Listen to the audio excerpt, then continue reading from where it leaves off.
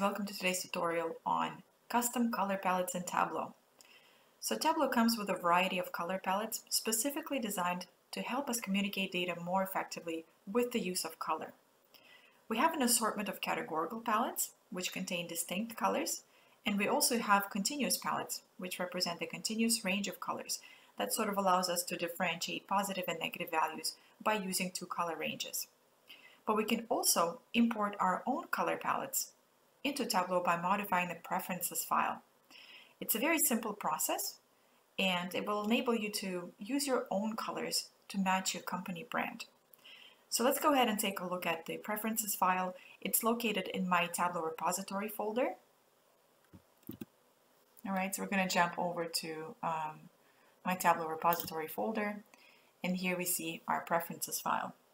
So this is a basic XML file that you can open in any text editor and modify.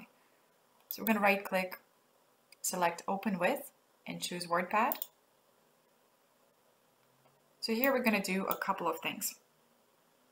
Um, you want to insert the opening and closing references tags right in between the opening and closing workbook tags, right? So I'm going to go ahead and do that.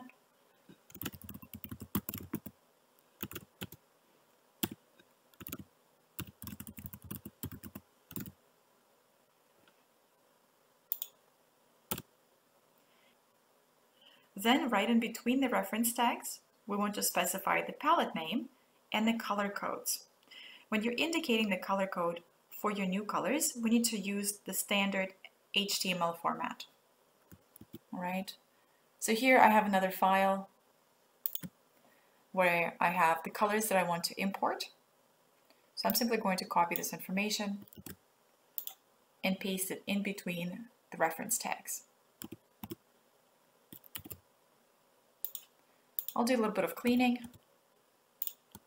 Um, the one thing that I want to point out here is we have a custom color palette name right here. So you can set this to anything that you want and you can also import as many colors as you want. So you, there's no limitation as to how many colors you can import into Tableau.